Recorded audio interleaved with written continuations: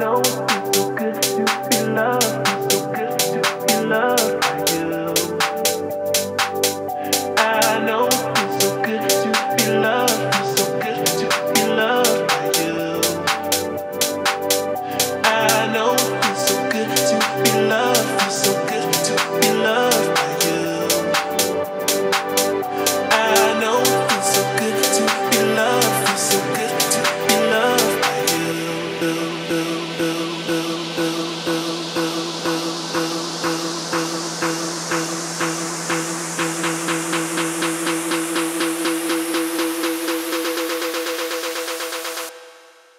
Everything I have is right here.